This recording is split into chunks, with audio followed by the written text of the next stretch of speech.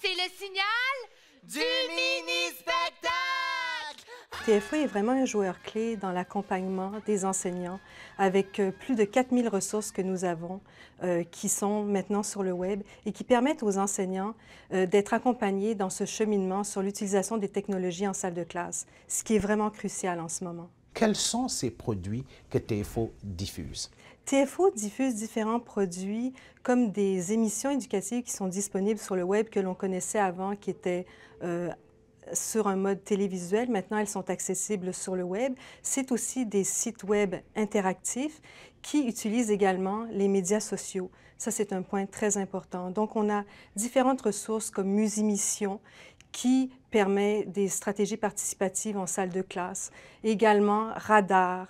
Euh, il y a Mini TFO qui a aussi une application iPad et iPod, et également euh, tout ce qui est euh, méga TFO avec l'utilisation d'un blog en salle de classe. Et c'est très important que TFO s'inscrive de cette façon dans l'utilisation des médias sociaux en français. Alors le but serait donc d'aller chercher ces jeunes-là dans ce qu'ils aiment et mm-hmm. où est-ce qu'ils se trouvent. Exactement.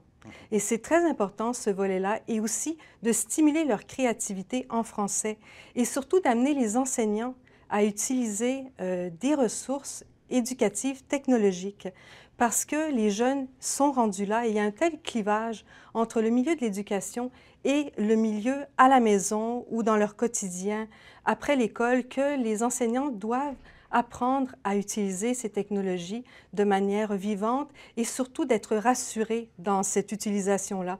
Et TFO, avec nos chargés de formation et de liaison, sont là pour accompagner euh, les enseignants dans ce cheminement-là. Il y a Mini TFO, il y a Tout TV.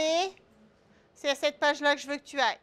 Parce qu'un enseignant, aujourd'hui, ce n'est plus celui qui dispense le savoir. En fait, c'est celui qui aide à cheminer, c'est ça? C'est ça, oui. Vous avez tout compris là-dessus. C'est un point très important, un changement de paradigme où vraiment l'enseignant n'est plus le maître, le détenteur du savoir, mais il est là pour amener les jeunes, pour les guider dans leur enseignement avec tout ce qui existe comme ressources sur le web euh, en général. Les jeunes apprennent à utiliser ces technologies, apprennent à à voir que différentes connaissances, ils vont acquérir ces connaissances grâce à un paquet de ressources et ils doivent discerner ce qui est bien, ce qui est vrai et ce qui est faux dans tout ça.